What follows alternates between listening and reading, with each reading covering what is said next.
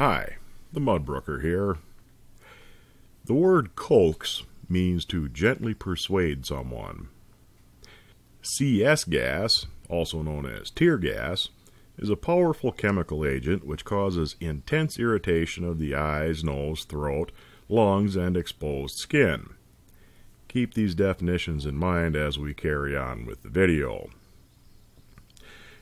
Earlier this morning in Eau Claire, Wisconsin, somebody tried to burglarize a bank. Well, they set off the burglar alarms and the police came, and apparently the suspect has barricaded themselves inside.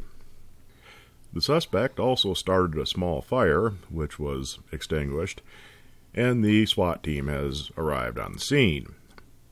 Now, all of this is a fairly straightforward news story until I happened to click on our local TV station's website only to be greeted by this headline Tactical response team using CS gas to coax suspect out. What kind of fucking half-wit would write a sentence like that? What's the SWAT team doing? Come here, boy. Come here. Good boy. We got some nice tear gas for you. Come on. Come on. Sometimes I weep for this nation.